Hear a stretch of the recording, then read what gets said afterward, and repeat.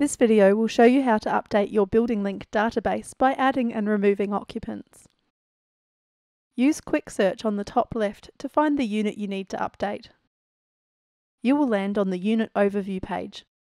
From there, click on the Occupants tab at the top. If a tenant is moving out of the unit, use the red Remove Occupant button on the right hand side. This makes their profile inactive. You'll see a message box open up just click OK to complete the action. Your previous tenant has now been archived, and their details can be viewed by selecting Include Deactivated Occupants at the top of the page. There is also the option to reactivate them if need be.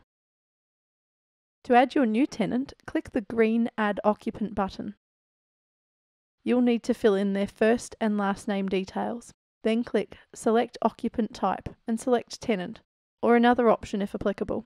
Click Suggest Username to assign a login name for them. And over on the right, you're able to enter the contact details available to you.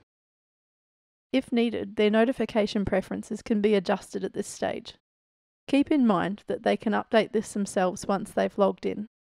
However, if you're setting up a user who doesn't plan to live in the unit, such as a real estate agent, they would probably prefer not to receive most of these notifications. Once you've entered all relevant info, click Save Changes, or use the option to save changes and add another occupant if you have more than one tenant to enter for this unit. Once you've saved the tenant, you'll be returned to the Occupants tab.